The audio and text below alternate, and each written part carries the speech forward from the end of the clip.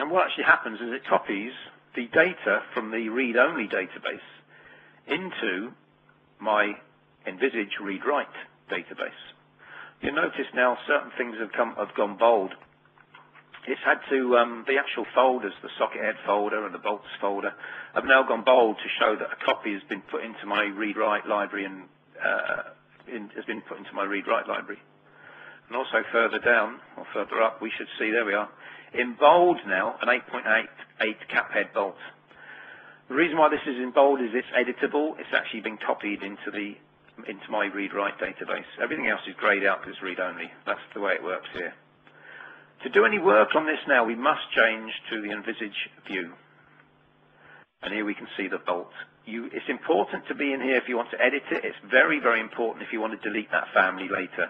It will only let you do it if you're actually looking at that read-write content center library. You're then able to delete. You won't see that if you're in the merged view, for instance. Okay, so let's edit this. If I right click on it and go to the family table,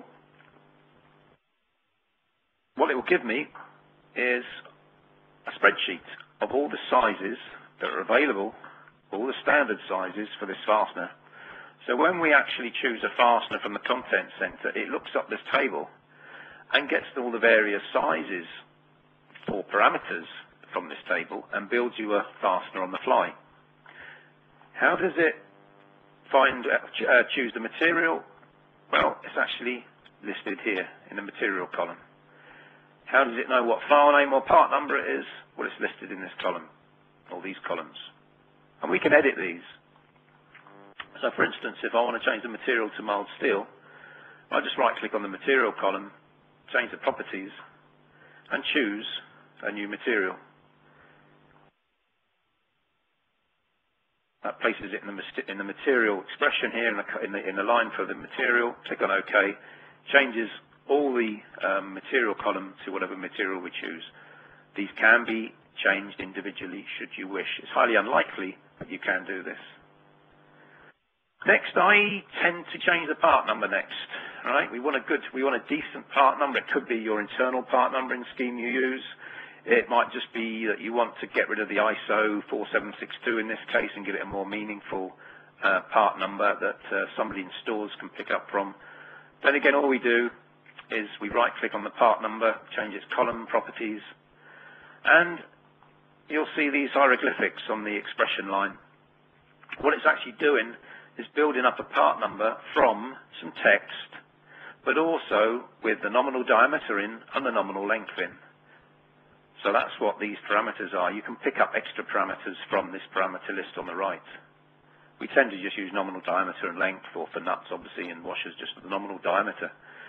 What I'm going to do here is just is purely change the text to 8.8 cap head.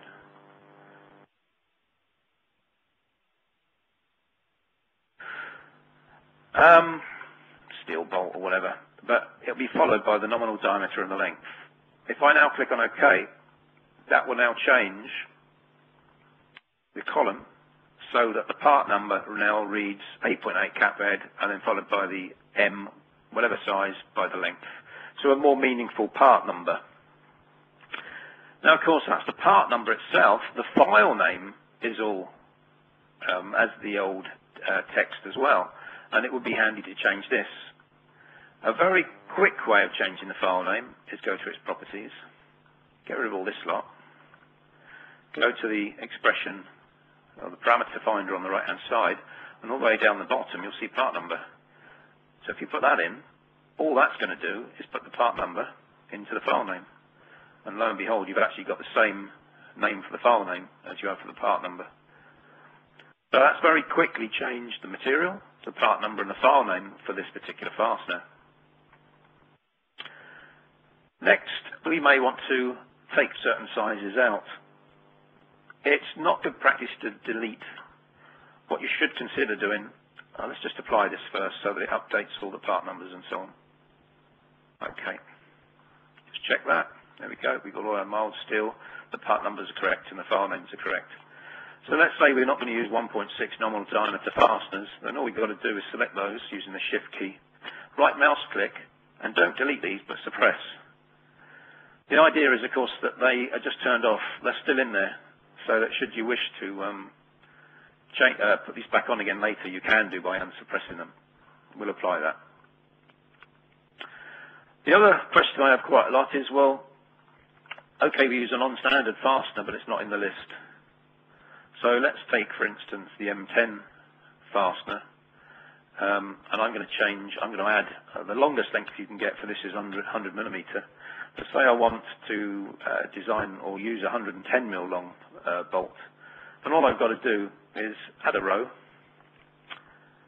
and then copy and paste one row into it. The yellow one is the new line I've selected or created. And then just in here, just put in the new size, 110. And if we go across to the right-hand side, the part, the file name and the part number is updated automatically. Click on apply, and that now gives us a new line for our fastener, 110, M10, 110 mil long. So you can put your own uh, rows in here as well, should you wish. If you want to, you can actually edit via a spreadsheet. There's, uh, in the top left-hand corner, you've got edit via spreadsheet. So if you want to very quickly, using spreadsheet technology, put in your own part numbers, you can do. Because you may have sequential part numbers or something like that, it might be easier in an Excel spreadsheet. So we've now edited our, our fastener. If we click on OK on that, we now have in our Content Center library a fastener. We can, by the way, create our own categories, so you can create your own folders in the um, Content Center list should you wish. I tend to just leave them alone, put them in the same folder, um, but just create my own fasteners in exactly the same folder as they came from. So now I've got an 8.8 cap head bolt. It means if I if I want um, a 12.9 cap bolt, then all I've got to do is save that as another family, and lo and behold, I've then got another fastener, and then I can go and edit that and change the part numbers and the materials and so on as before. Now joining. Okay, so Okay. if this if this works, all we do is start ourselves a new assembly,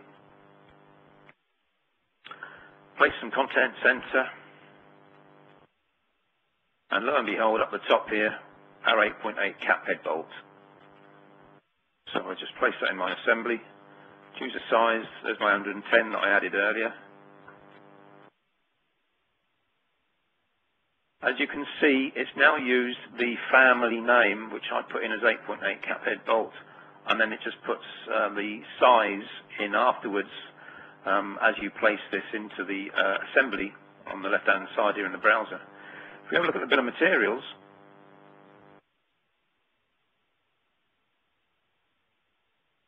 the part number as I put it in the, um, as I created it in the uh, Content Center editor earlier. The description is coming through as the family name.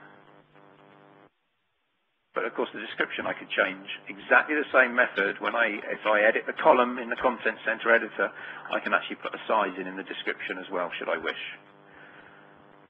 So that's an overview of the um, Content Center and how we edit it.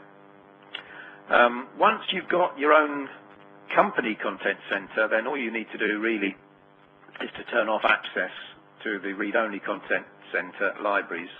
In the Vault Data Manager console, all you need to do is log into that on the server and under libraries, just detach the read-only libraries that you don't want to use. Just use detach. It will detach it out. Nobody's then got access to that. They've only got access to the read-write libraries. Alternatively, if you're working in the um, desktop content, then all you do is go to Projects, bottom right-hand corner, the Configure Content Center Libraries button, and in here, you just tick or untick what uh, libraries you don't have access to.